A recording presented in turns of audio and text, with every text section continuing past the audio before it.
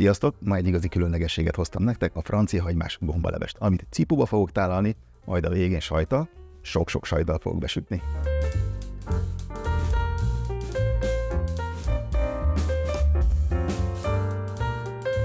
Előkészítjük a hagymákat, vagyis a hagymát felszeleteljük, a fokhagymát pedig apróra vágjuk.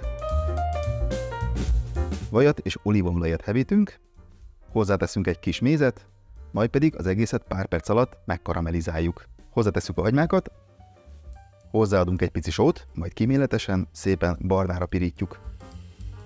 Hozzáöntjük a fehérbort, majd pedig gyorsan pár perc alatt elpároljuk.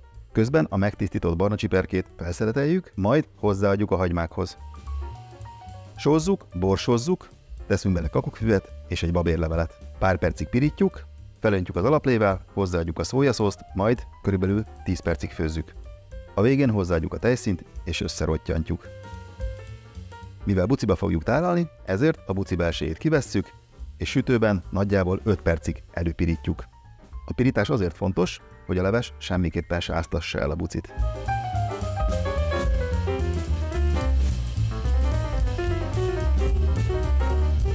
Kedvünk szerint a kedvenc sajtunkkal meghintjük, majd visszatesszük a sütőbe, és az egészet összepirítjuk.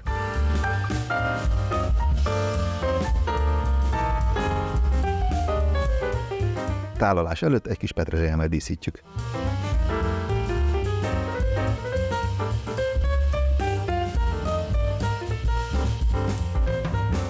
Remélem tetszett a mai recept, ha igen, akkor készítsétek el mindenképpen, iratkozzatok fel a csatornánkra, találkozunk legközelebb is. Sziasztok!